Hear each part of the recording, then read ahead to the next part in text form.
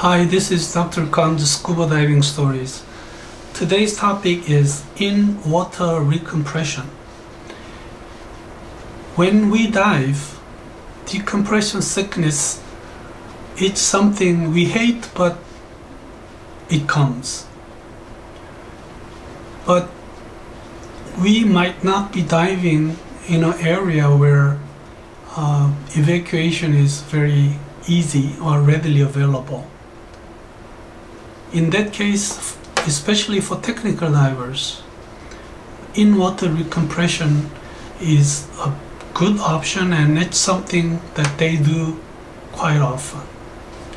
So uh, to talk about the in-water recompression, we look at the treatment modalities for decompression illness are there's some uh, diver's attitude on DCI a little different from technical diver to recreational divers.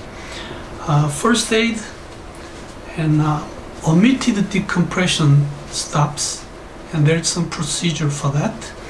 Uh, what if the recompression therapy is delayed and in-water recompression is an option. So this is what I want to talk about today. Uh, treatment of decompression illness First is the first aid.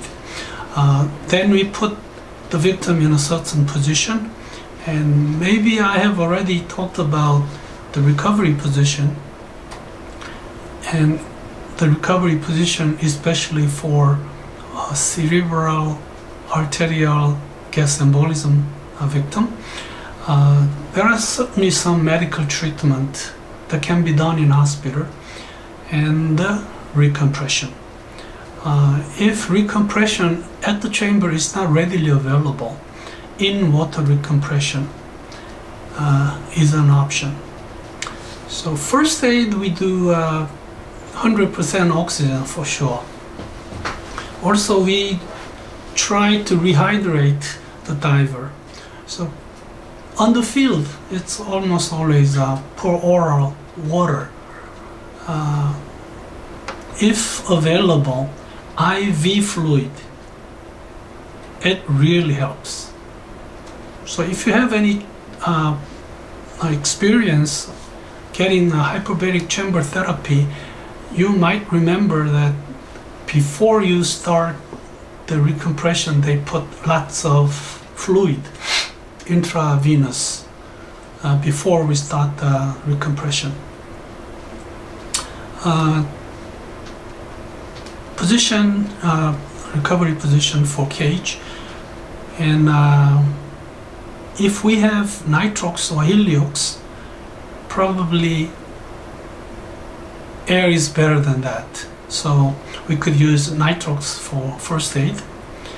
Uh, is in water recompression uh, possible as a first aid, which I think is also an option.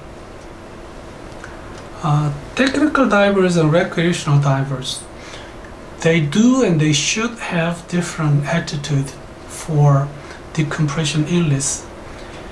Um, in technical diving,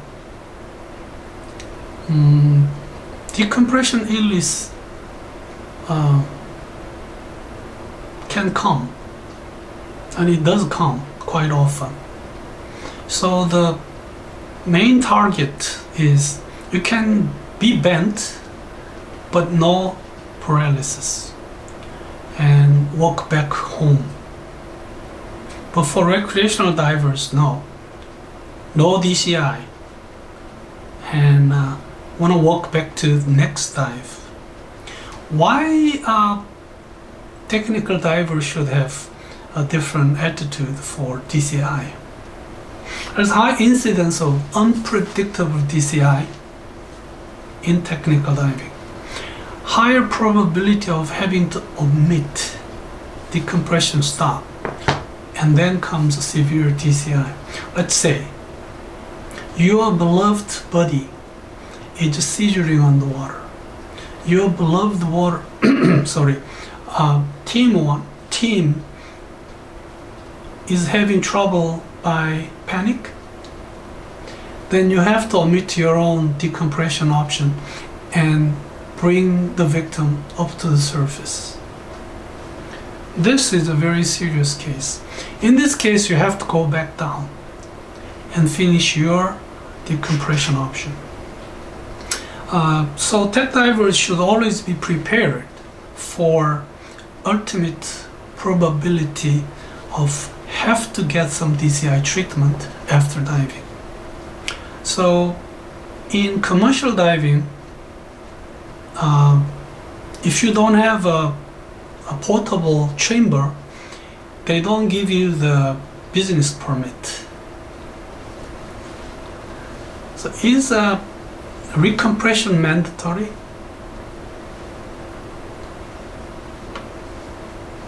Not in mild to some moderate DCI symptoms.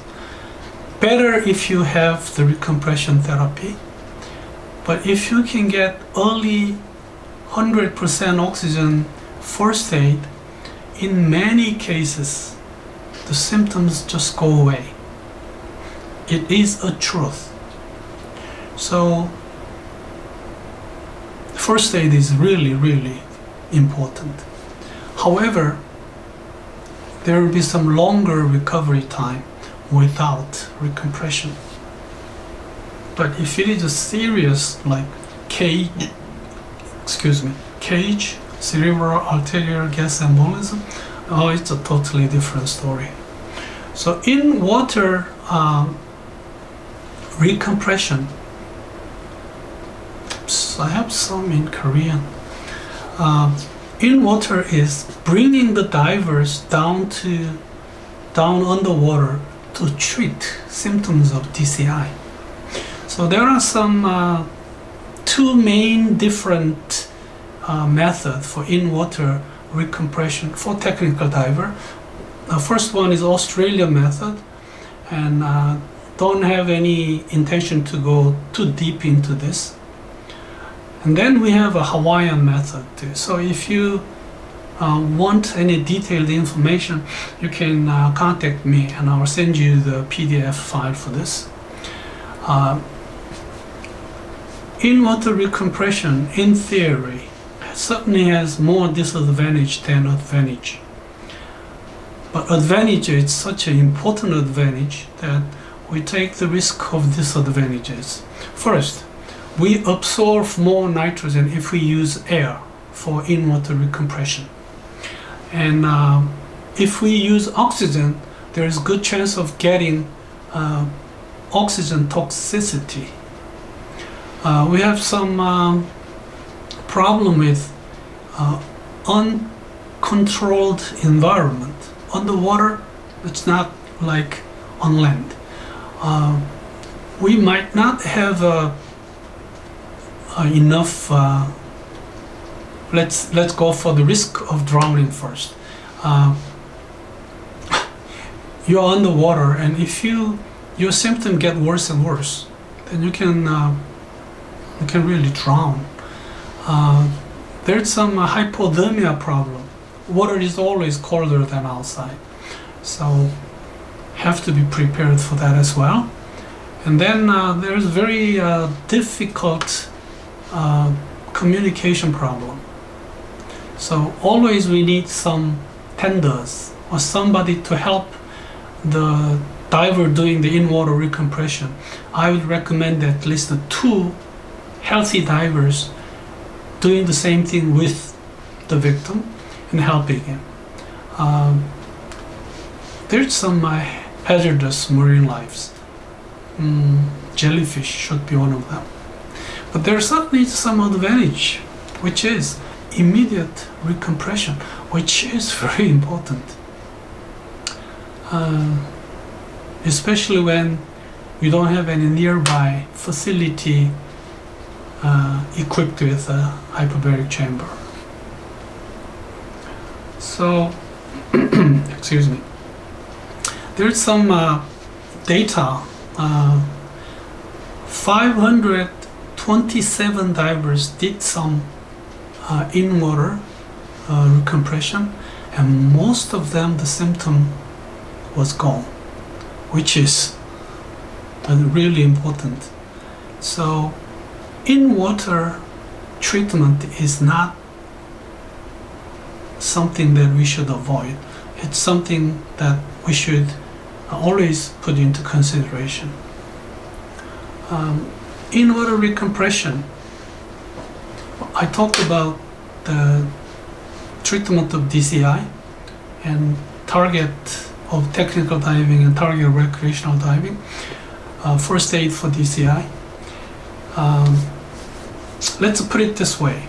In technical diving, you must do finish your decompression obligation and you have to go back for in-water recompression. In recreational diving, no training agencies ever recommend that. But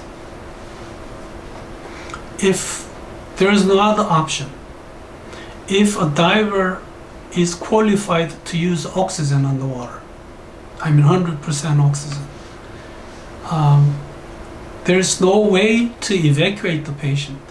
There's no nearby hospitals. Then we can consider in water recompression as an option. So this should be the conclusion for today. Uh, thank you for listening and uh, I'd like to come back uh, with different uh, subject soon. Thank you very much.